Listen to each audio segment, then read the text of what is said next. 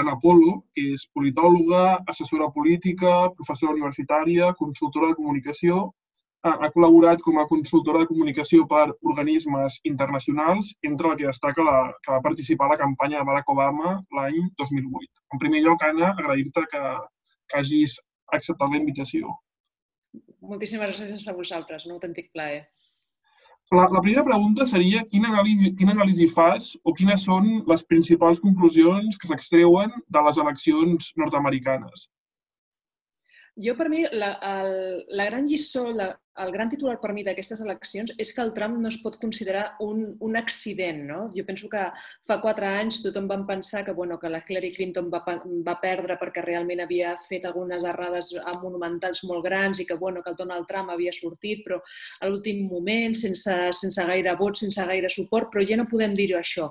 O sigui, jo penso que realment eh, ha tingut uns, tot i que ha perdut, no? eh, però bueno, ha revalidat amb moltíssima força les seves posicions, realment ha aconseguit molt més vots de molts altres candidats republicans anteriors, amb la qual cosa no es pot dir que el trumpisme sigui, sigui un accident, sinó que és tot un fenomen i tota una tendència que, eh, i aquesta per mi és la segona lliçó, tot i que Donald Trump abandona la Casa Blanca, el trumpisme no se'n va. No? O sigui, comentàvem abans d'entrar aquí en directe que vas parlar amb el Xavier Peitaví, el Xavier Peitaví diu una cosa que estava molt bé, no? Quan persones um, que, bueno, que moltes vegades ens pensem que això ha estat un malson que realment uh, ara mateix ja, ja, ja podíem oblidar-nos d'ell, però realment no és així. O sigui, el trumpisme continua, és una tendència de fons i, i realment uh, el trumpisme el que ha fet és impregnar tota la política republicana. Ja no podem estar parlant del, uh, del Partit Republicà tal com havíem parlat fins ara, sinó que estem parlant d'una altra cosa totalment nova.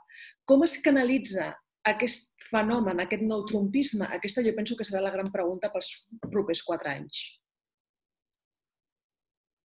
En aquest sentit, quines reflexions hauria de fer el Partit Republicà? Perquè, com comentes, diguem-ne, el Partit Republicà s'ha convertit, diguem-ne, en un projecte molt individual, per així dir-ho, Donald Trump. Quines reflexions Clar. hauria de fer a partir d'ara? Uh, bueno, jo per mi uh, el que primer és analitzar per què hem arribat fins a aquest punt. No? Jo penso que el, el Partit Republicà uh, durant l'època Obama, però abans ja havia començat a fer, uh, havia fet, començat a fer coses molt... Uh, bueno, havia començat a perdre molts, uh, molts uh, licients, havia començat a perdre uh, molt suport en, en, en capes molt importants de la població, com per exemple els, els votants blancs, els votants rurals, i el Donald Trump el que el que va fer és recuperar a tots aquests votants. És a dir, el Donald Trump el que fa és tornar a agafar pels partits republicà el votant blanc bàsicament rural, que és un votant eh, numèricament molt important. Normalment, quan parlem dels Estats Units, sempre ens fixem en les minories, no? però realment hi ha un votant blanc que és majoritari i que no, no el podem eh, minusvalorar. I, eh, jo penso que, el, el, uh, clar, el, el tema és que aquesta gent, el Donald Trump els hi va oferir una cosa molt important, que era tot el tema del proteccionisme. És a dir, el Donald Trump bàsicament guanya no pel tema de la immigració, sinó bàsicament pel tema del NAFTA, perquè bàsicament va guanyar els estats del nord, que són els més preocupats per la desindustrialització que van patir durant molts anys. Si el Partit Republicà no, continua, no té ara mateix, no articula una gran política, diguem-ne, de com recuperar la indústria, de com donar uh, suport a aquests, a aquests llocs de treball, al Partit Republicà segurament li costarà moltíssim tornar a agafar la Casa Blanca. I, I el Partit Demòcrata, quines reflexions ha de fer? Perquè, d'altra banda, tot i que Joe Biden, Joe Biden uh, ha guanyat, uh, no sé fins a quin punt els votants han votat a favor de Biden o en contra de Trump. Que potser exacte, exacte.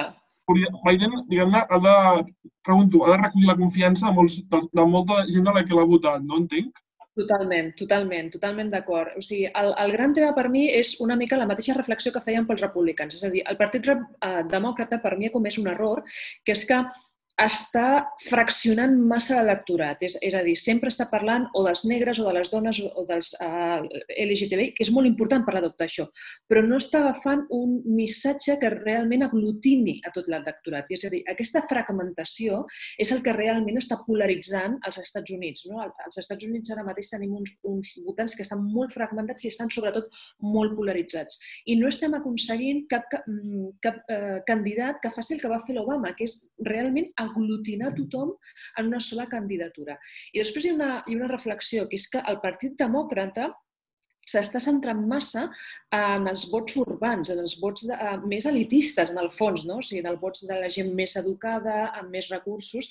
I llavors està perdent tota una base de, de votants més, amb menys recursos, més, eh, menys educació, però que realment és un, és un gruix de votant que tècnicament parlant hauria de ser el vot natural del vot demòcrata, no? perquè són els, els votants que més interessats estan en tenir més protecció social, més seguretat, més sanitat, per exemple, però aquesta gent l'està perdent totalment. I, I llavors jo penso que el que o comença realment a, a, a recuperar aquest vot menys sofisticat, diguem-ne així, en el sentit de menys, menys recursos econòmics, amb menys recursos en temes educatius, o el Partit Demòcrata ho passarà realment malament.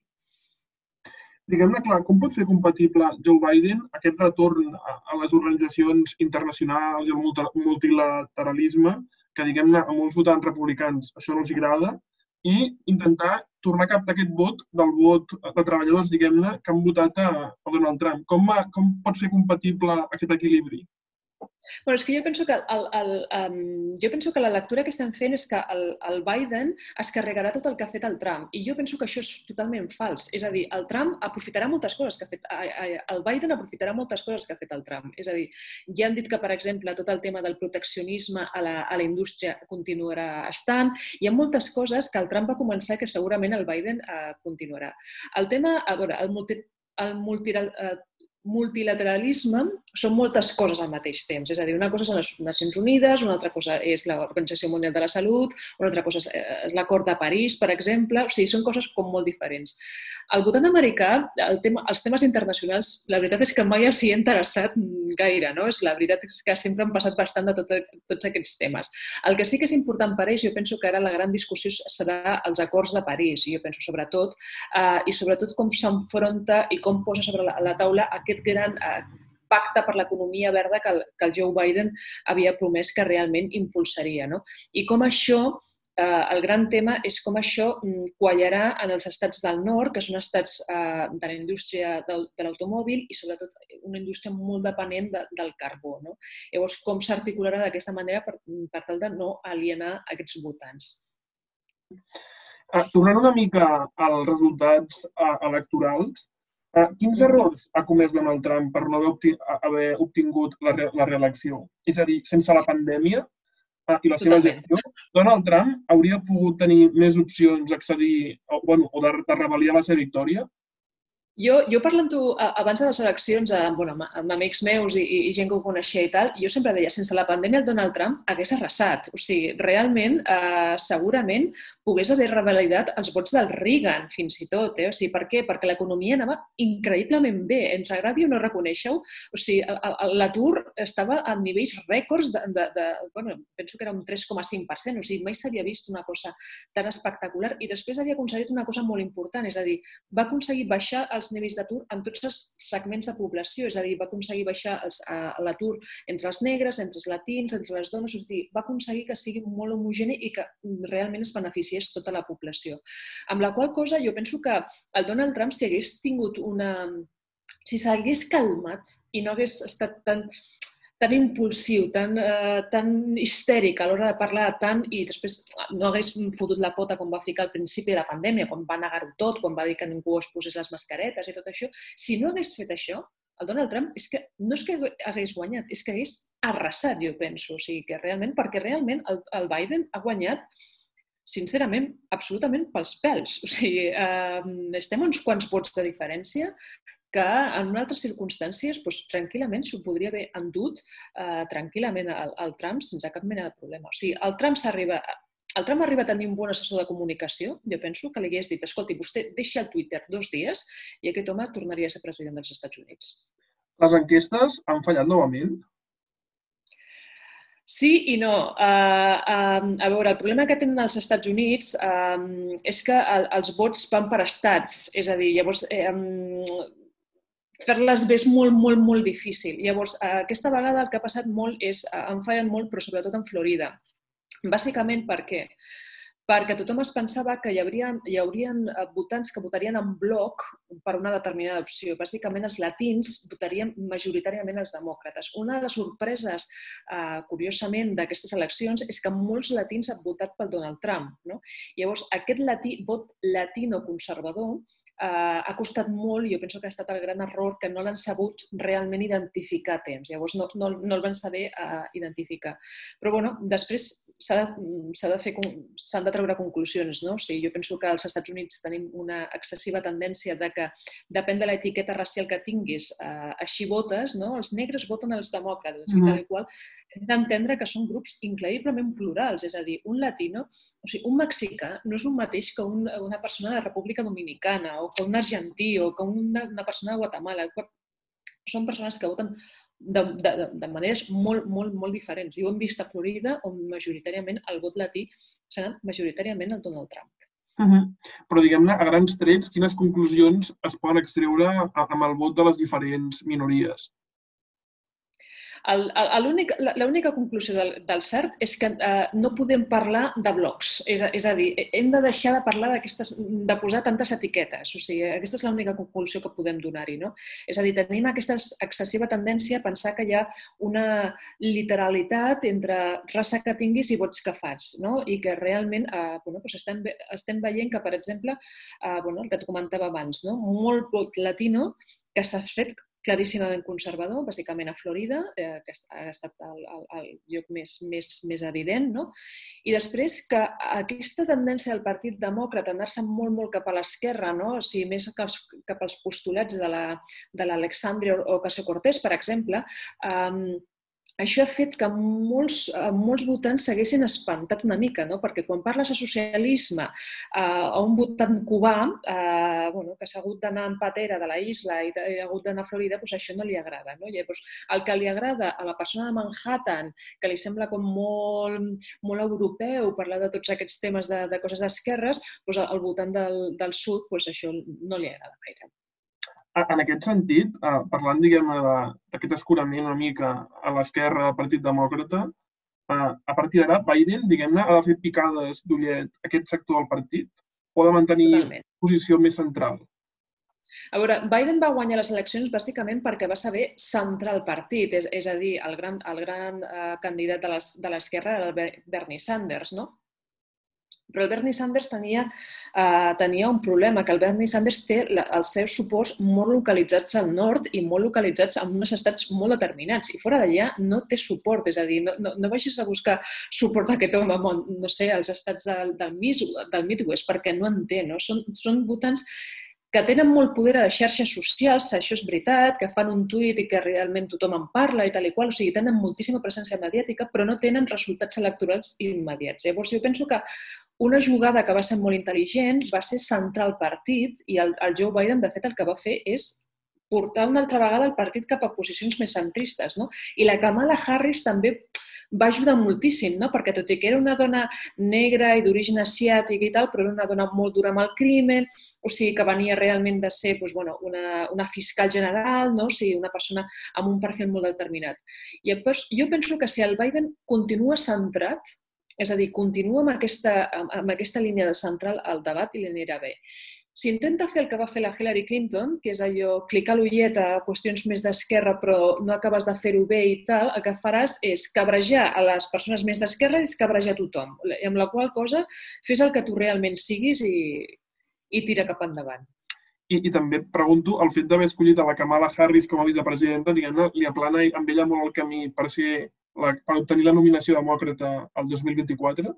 donada l'edat de Joe Biden? Jo, jo penso que estem davant de, de la primera dona presidenta dels Estats Units, eh? o sigui, per dos motius. Bàsicament perquè ell és bastant gran, o sigui, no ens adonem que, que té una edat ja molt... i, i, una, i una salut bastant, eh, bueno, bastant complicada, no? que qualsevol moment, a veure, ser president dels Estats Units no és fàcil, requereix 24 hores, et poden bueno, aixecar a les 3 de la matinada contínuament perquè tens una crisi a l'Afganistan o a l'Iraq, Llavors, és, una, és un treball que, bueno, que requereix molta intensitat i tal, i que ja veurem, no?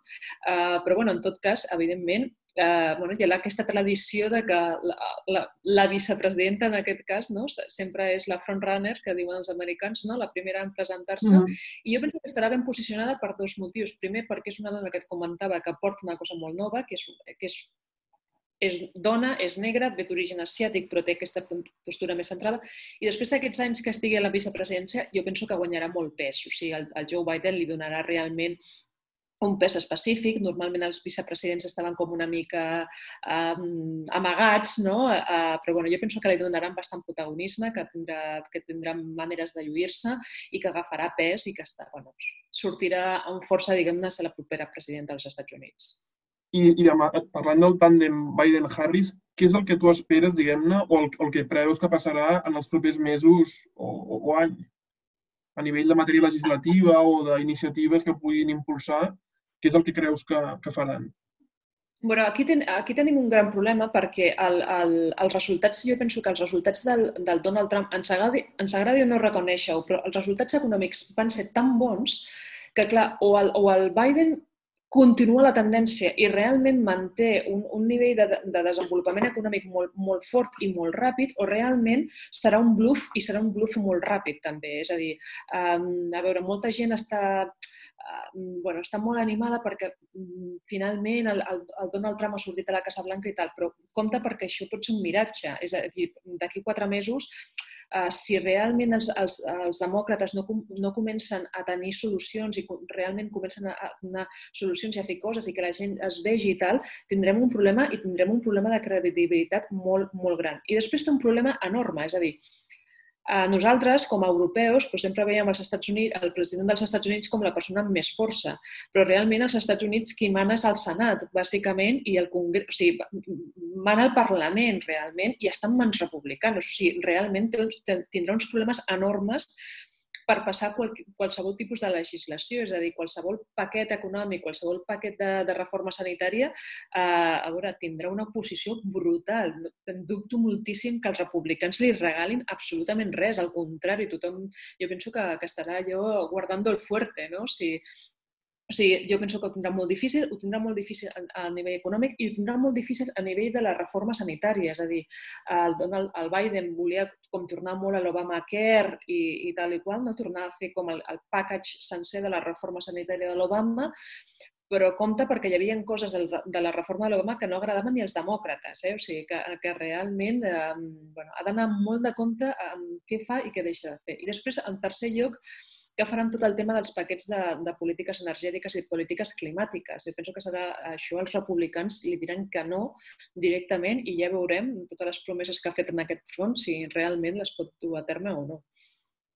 Bueno, de moment fins, a, fins al dia 20 Biden no prendrà possessió del càrrec, però fins aleshores Uh, què farà Donald Trump? Uh, creus que acabarà acceptant la... Bueno, l'altre dia ja va mig acceptar titubejant la derrota, però eh, no acaba d'acceptar-ho.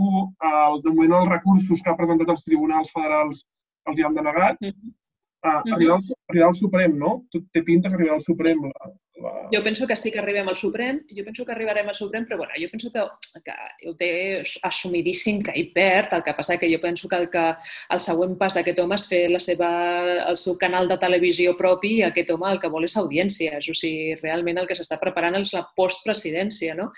A veure, jo sempre he pensat que és un home que no volia ser president, que ell el que volia era guanyar, perquè li agrada guanyar i volia ser l'home més famós del món, i ja està, o sigui, ho ha aconseguit de sobres, no? o sigui, realment deu ser la persona més coneguda coneguda a tot el món en aquests moments, no?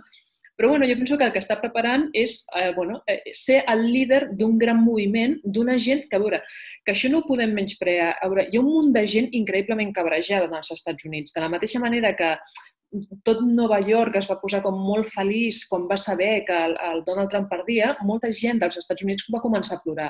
Llavors hi ha, hi ha molta gent que pensa que realment el seu sistema li ha traït. És a dir, que realment li, uh, li han tret les eleccions, que no havia perdut el Donald Trump, que realment havia guanyat, que això ha estat una gran traïció, uh, traïció, no? I llavors, bueno, tenim aquí com un munt de gent, tenim un nou Tea Party, no? I jo penso que el, el Donald Trump el que voldrà és explotar aquest nou Tea Party, ja ho veurem com. Jo penso que es tirarà segurament, intentarà monetitzar-ho i guanyar diners, perquè aquest home, a veure, ens agradi no reconèixer, aquest home té una capacitat comunicativa increïble, en el sentit que aquest home posa un tuit i, tothom en parla a tot el món, no?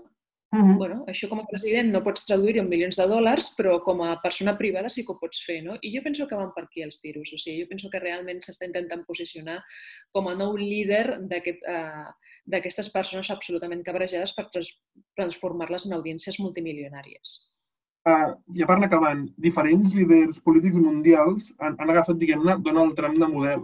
Podria ser Jair Bolsonaro, uh, Boris Johnson, Orbán... Ahir La Vanguardia, amb un reportatge, un politòleg uh, de Harvard que es diu Hussein Kalou, que va ser secretari d'Estat uh, amb el president Michel Temer uh, a Brasil, deia que Bolsonaro ha, ha vinculat massa la seva imatge a la de Trump i que la seva plataforma ideològica patirà un impacte dur perquè representa la derrota del model de fer política que ell ha copiat i té un impacte psicològic sobre el Brasil. Bolsonaro també pot ser vençut. Que coincideixen amb aquesta anàlisi que a partir d'ara ho tindran molt més difícil eh, aquests dirigents polítics que... No, no, no estic d'acord per, per una senzilla raó, perquè sempre pensem que és un moviment idèntic i no té res a veure. És a dir, perquè les, els països són molt diferents, és a dir, no té res a veure... O sigui, comparar els Estats Units amb... No hi ha amb el Bolsonaro, però aquí a Europa hem tingut un munt de casos, no? Tenim Hongria, no? O sigui, bueno, podríem fins i tot parlar aquí a Vox, no? Aquí a Espanya.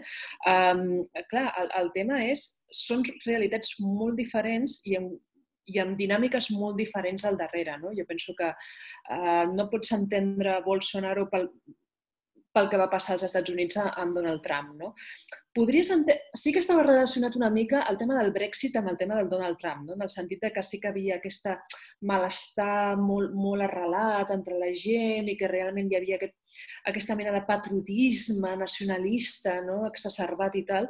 I en aquest sentit jo sí que vaig veure un paral·lelisme entre el Brexit i el Donald Trump, però intentar veure un paral·lelisme entre eh, molt directe, molt lineal entre el, el, el Trump i el Bolsonaro, jo, jo no ho penso. I després, tots, tots aquests anàlisis que s'estan fent de mort el Donald Trump, ja està, ja, ja, ja, ja estem curats d'espant, això és fals, perquè el moviment continua, la gent continua, a, a, continua cabrejada. O sigui, tot aquest... A veure, el, el, el Donald Trump se'n va, però se'n va amb un suport de vots que realment molt pocs polítics han tingut i aquesta gent està en aquests moments absolutament cabrejada i això no es passa perquè canvis les eleccions. O sigui, hi ha un tema de fons, o sigui, hi haurà un xup-xup de fons que continuaran tenint en els propers quatre anys i que no podem pensar que això desapareixerà simplement perquè el Donald Trump se'n vagi.